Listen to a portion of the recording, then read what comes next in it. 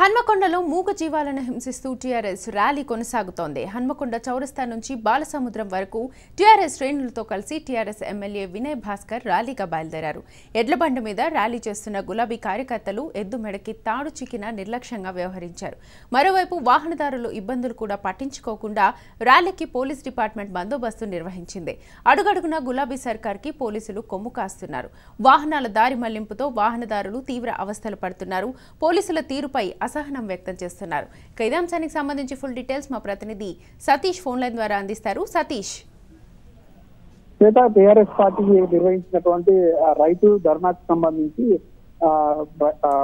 వాహనదారులు పట్టణ కేంద్రాల లోపల వాహనదారులు తీవ్ర ఇబ్బందులు పడినటువంటి పరిస్థితి. ఈ క్రమం లోపల టిఆర్ఎస్ పార్టీకి సంబంధించినటువంటి ర్యాలీని ఆ వరంగల్ హన్మకొండ చౌరస్తా నుంచి నిర్వహిస్తున్నటువంటి క్రమంలో ఎడ్ల బండ్లను తీసుకొచ్చినటువంటి క్రమంలో ఎడ్లను తీవ్రంగా హింసిస్తున్నటువంటి పరిస్థితి అయితే కనబడింది. దానికి సంబంధించి ఆ- ఎద్దులు బెదరడంతో పాటు ఆ జనాల్లో జనసంఘాల్లోకి పోయేటువంటి పరిస్థితి వచ్చినప్పుడు ఆ, తీవ్రమైన తీవ్రంగా పశువులను వేధించినటువంటి పరిస్థితి కనబడింది. దీనికి సంబంధించి నిన్న బీజేపీ ఆందోళన చేస్తున్నటువంటి క్రమంలో బలవంతంగా అరెస్ట్ చేసినటువంటి పోలీస్ అధికారులు ఇప్పుడు ఆ అధికార పార్టీకి సంబంధించినటువంటి నేతలు నాయకులు ప్రజాప్రతినిధులు అంతా ధర్నా నిర్వహిస్తున్నటువంటి సమయంలో వారికి ప్రహార కాస్తూ వారికి ఆ వాహనాలకు అడ్డుతలు అడ్డు తొలగించి ఆ పూర్తి స్థాయి లోపల అధికారికంగా ధర్నాను నిర్వహించినట్టుగా నిర్వహించడం పూర్తిగా ప్రజల ప్రజల లోపల చర్చనీయాంశంగా మారింది. ప్రజలు తీవ్రంగా విమర్శించినటువంటి పరిస్థితి నెలకొంది ఈ చేత రైట్ థ్యాంక్ యూ సతీష్